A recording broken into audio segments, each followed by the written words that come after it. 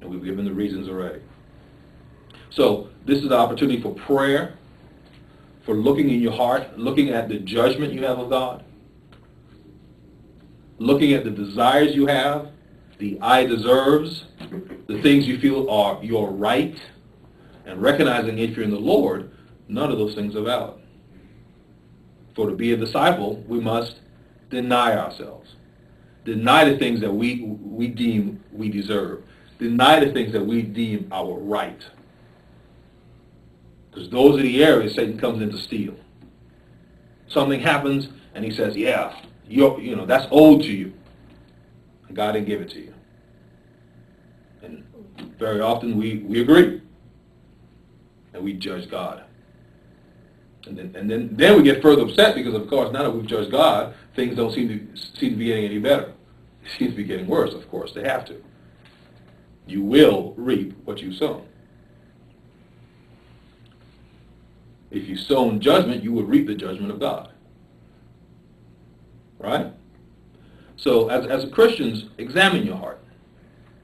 Look for those areas where you have rules operating that are not in line with the Word of God. Because wherever that rule is, is, is going against the Word of God. Every place your opinion, your personal rule, your personal anything is in, is in contrast with the Word of God is an area you're going to be uh, uh suffer discontentment in.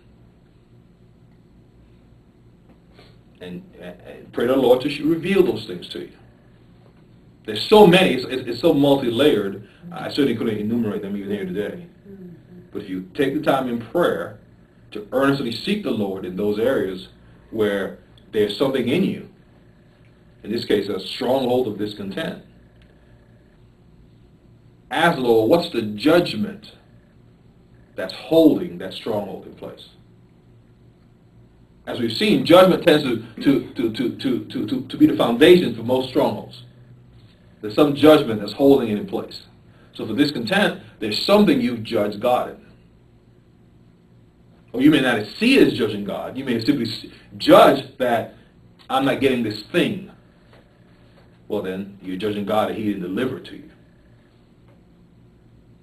So seek the Lord on asking what's the judgment that's causing my discontent. What's the judgment? the few scriptures we read, the other area can be envy, looking at what the group does. Or as we say, uh, uh, uh, trying to chase after the Joneses. Well, they have that, so I want it.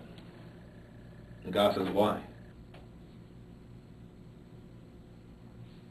That's their reality. That's their reality.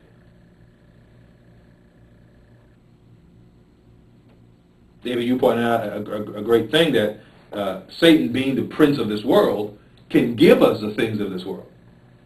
We actually don't need God to get the things of this world. Satan will do it. He'd be glad to. So we should be looking to, looking to God for things that are not of this world. Deliverance from evil, for one, is not of this world.